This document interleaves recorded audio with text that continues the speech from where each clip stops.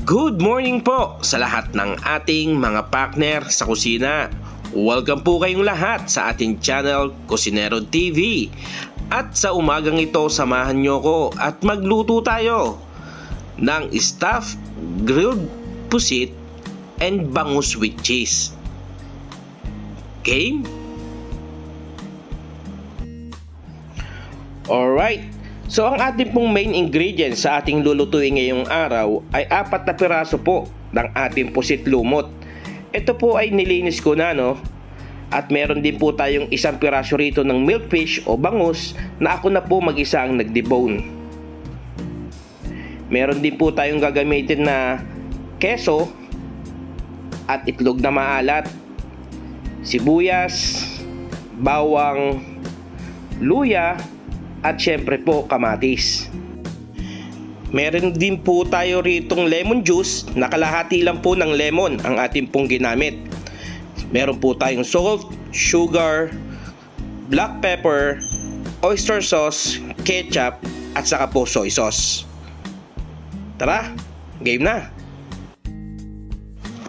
Okay, so simulan po natin sa pagmamarinate po ng ating pong pusit. Gagamit po tayo rito ng soy sauce na mga dalawang kutsara po o 2 tablespoon po ng ating soy sauce. Dalawang kutsara po ng lemon at maglagay na rin po tayo ng dalawang kutsara rin po ng ating pong brown sugar.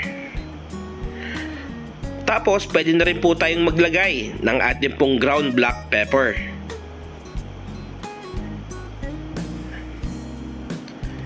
Maglalagay din po tayo ng pinch ng ating pong ginger o luya at saka ng ating bawang. Saka po natin siya imamassage sa ating pong pusit para tuluyan pong ma-absorb niya yung marination po na ating pong itinimpla. Pwede nyo rin pong lagyan yan ng oyster sauce, nasa inyo po yan. Pero ako po, hindi ko na po dyan ilalagay at uh, gagamitin ko na lamang po yun para po mamaya sa pampahid po sa kanya. Mamaya po makikita ninyo. So iset aside lang po muna natin siya at ayusin naman natin yung iba pang mga ingredients. Ito po ang ating kamatis at ang ating pong sibuyas. Kung gusto po ninyong mas dagdagan pa yan, eh wala pong problema. Hinalo ko na rin po yung natira pa nating luya at bawang nang sa ganun po eh makatulong din po sa pagbawas po ng lansa.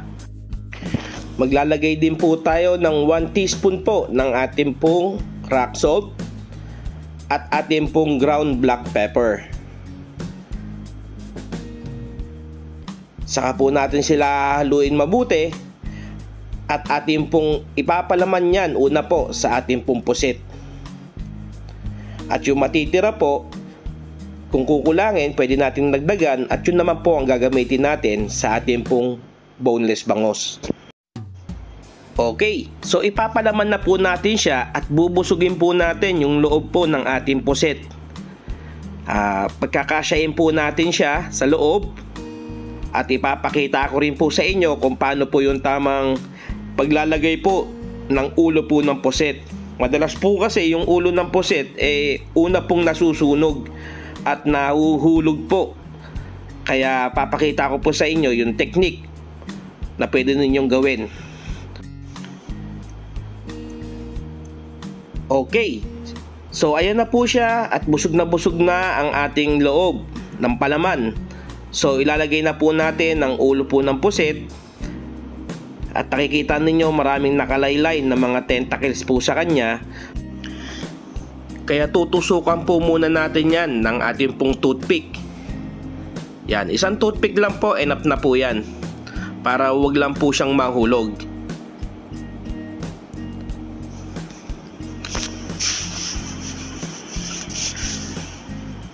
Yan, pag alam po natin na ganyan at secure na siya, pwede naman natin gamitin ng susunod ang ating pong aluminum foil. Yan po ang ibabalot natin doon po sa pinakaulo ng pusit nang sa ganun hindi po siya kaagad masusunog. At makikita nyo mamaya yan pag inihaw natin. So eto na po ang lahat po ng ating nalagyan ng palaman. At yung ating pong pinagbabaran, pwede po nating ibalik yan no, para mamarinate pa rin po siya habang gagawin naman natin yung ating pong boneless bangus. Yan. Okay?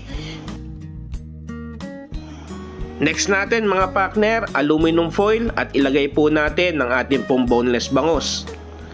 Maglalagay po tayo ng mga 1 teaspoon po ng ating salt at hindi namin dadamihan dahil maglalagay pa naman po tayo ng itlog na maalat mamaya dyan. Naglagay din po tayo ng ground black pepper at imamassage lang po natin.